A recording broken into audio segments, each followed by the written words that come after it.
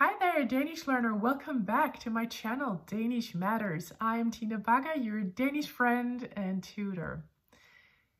Do you know the feeling of not being able to express yourself the way you would like to in Danish? That's what I hear from a lot of my students. They struggle with expressing what they would like to say. They struggle with feeling like themselves, like an adult. And that's what we're going to talk about today. Before we get started, I would like to remind you that if you would like a Danish course with me, then write to tina at danishmatters.dk. I can help you all the way through your Danish learning journey, so to speak. I have taught beginner's level and intermediate and advanced and pronunciation a lot. So please write to me in order to find the course that you would like. Also, if there is something specific that you would like to focus on. So let's talk about not being able to express what you would like to say in Danish. I know that a lot of people, they would say that I feel like that all the time. And uh, that is something that I know myself, and I'm going to tell you a little bit of a story before I get to more of my points. So as some of you might know, I also work at a study abroad program called DIS, where I teach American university students and I teach the course or the class, Danish language and culture. And a few years ago when Corona was harassing all of us and our lives all over the world, we didn't have any students to teach. So what we did was that we were having workshops where we were developing teaching practices together instead. It was very interesting. And uh, the language at that workplace is English. So if you meet someone in the hallway, in the corridors, and you don't know what nationalities they are, you would speak to them in, in English. And all of these workshops were conducted in English. Um, and when I teach at DIS, I teach at a sort of above level and advanced level, sort of. It's called intermediate, but it's really intermediate and up. And that means that the people I teach, they already know some Danish. And that means that I try hard not to speak English with them. That is, we do, of course, explain things and we do, of course, refer to the English language and so on. It's not like it's forbidden, but I really try to speak as much Danish as I can with my students so they can develop their language skills, learn more vocab, grammar, etc. in Danish. So consequently, when going through all of those workshops, this meant that as opposed to my colleagues, I was sort of struggling because they speak English every day. That's what they do. That's the only thing they do almost. Whereas I almost only speak Danish. So it was a little hard um, because um, those days I was talking about topics that were maybe new to me.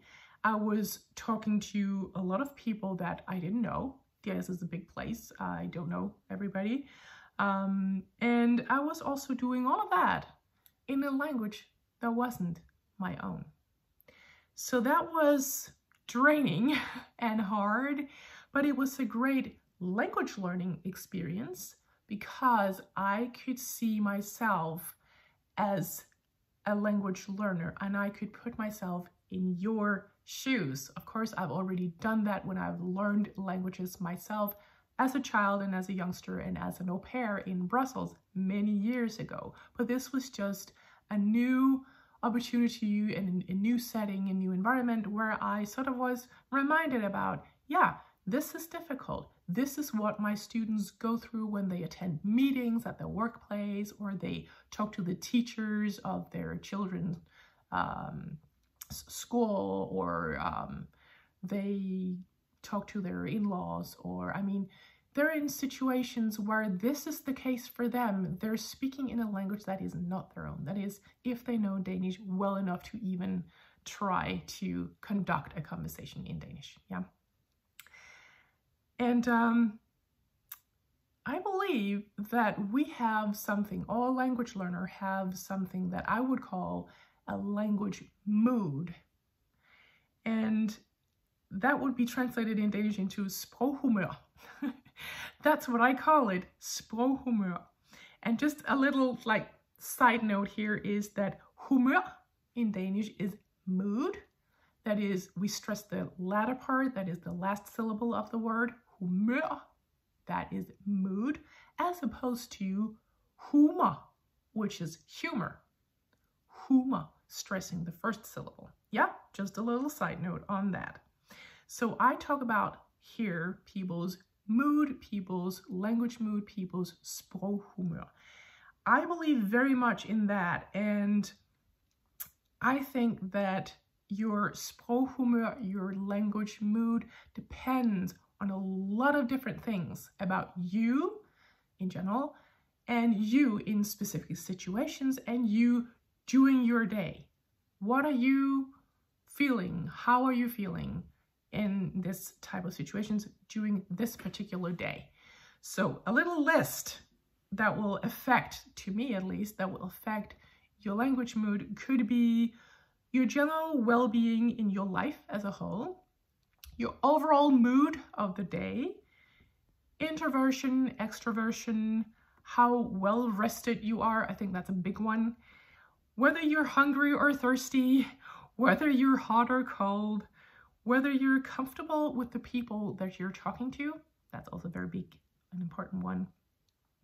For how long you're talking, both your own contribution to the conversation and the entire length of the, the entire uh, conversation. What you did before the conversation and what you're going to do after the conversation, that will also be affecting you. And probably the list will go on. And some of you might think, but that's all of those things, that's not a problem for me at all. Then you're just not as sensitive as I am and as some other people are. Or you might even be more sensitive and add more things to the list thinking, oh, there's this, there's this, there's this as well. Then you're just maybe more sensitive than I am. So, of course, this is just my examples. Yeah, you might add more, you might not relate at all to the list. So what am I saying here? I'm saying that I know where you're coming from when you're speaking Danish because I know it from myself. Yeah. I know how many things I hold back because my language mood just isn't up for it this particular day or that particular day. I know how I feel when one seemingly critical glance or remark can make me go all quiet and or I just I just don't speak or just speak an absolute minimum. Um, I know how I have to awkwardly pause in order to search for words. I even do this during my videos. I know how it is when the words I'd like to use sort of crumble and I have to express myself in a much simpler way than I actually wanted to. Feeling a little bit like a child, yeah? Do you relate? I know how much I push myself to speak anyhow and how drained I get after conversations in another language, yeah? So believe me, I know, I know where you're coming from. So what do you do about all of this? Well, to me, there's only this. Keep on keeping on. To learn more of the language, that's a big one. Keep on going, keep on improving, keep on progressing.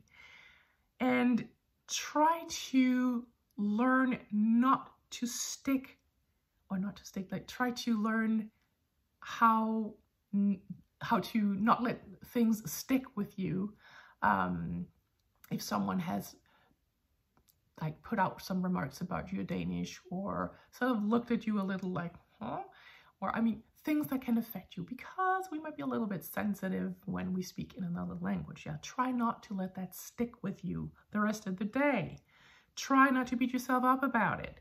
Try to have other things in your life. I really hope you have, and I think you have, other things that you engage in, in other things that you like, other things that mean something to you and that you can be happy about and joyful about, yeah, so that you'll forget all of that because it really is sort of minor. Know this, what might have been a total disaster language-wise yesterday or another day in the past, or last time you spoke to these people or that you spoke about this topic does not mean that it will be this disastrous again. It's maybe uh, just that one time. Maybe it will be totally different. You don't have to fear it as much as you might think, yeah? Um, so try not to worry too much. And this does not define you. Yeah, it's something that you did, something that you said. It's not you as a person, yeah? So go on in there, get back on your horse, try again. And um, you also have a bigger chance of success, whatever that is, um, if you try to get your rest, try to get some exercise. It can just be walks, yeah? I'm not a doctor. I'm definitely not good at, yeah, exercising all of that myself, but I know how how good it is and and how much it really affects affects the language mood that you have, your general well-being, and your day. Yeah. Eat healthily, all of that, whatever is needed to better shape you personally so that your language mood can be more in balance, maybe more of the same and not like a roller coaster as much. Yeah. I know it's easier said than done. I'm still struggling it with it myself but I'm still trying. Making these videos has actually helped a lot because I'm thinking, okay, I'm just gonna put myself out there. I'm just gonna speak the way I speak. They're not gonna die from me sort of stumbling across some words. I'm not gonna die from it either. So I just do it. There's no, uh, there's no big fear. There's no disaster about it. It's, it's not that bad. Yeah, just do it anyway. Um, and I'd like to end with three points that are actually important. Praise yourself when you, in your terms, in your perception, have succeeded. Pat yourself on the shoulder. Yeah? Yes. Ha! I did it. Maybe get yourself a little treat. It doesn't have to be sweet. It can be anything. It can also be something that you do. Yeah? Number two, Success is sometimes defined in the very act of trying. So sort of isolate what came out of it and the fact that you actually did it. Praise yourself, some saying, yeah, whatever, but I did it. That's the success. That's the criteria that you need to go for, yeah? And three, if it wasn't all that good, if you didn't succeed all that well with those people or talking about that topic, people that you talk to or with have probably already forgotten. They have their own lives. Yeah, they don't care. So think about that as well. So, how is your language mood, your sproghumør, dit sproghumør today? Write it in the comments. Let's have a, a chat about language mood really believe that this is a thing, although probably not scientifically proven, but it is a thing in language learning. So, all the best of luck with your Danish. Remember, if you would like a Danish course with me, write to you, Tina at danishmatters.dk. And I just got left to say, happy Danish learning.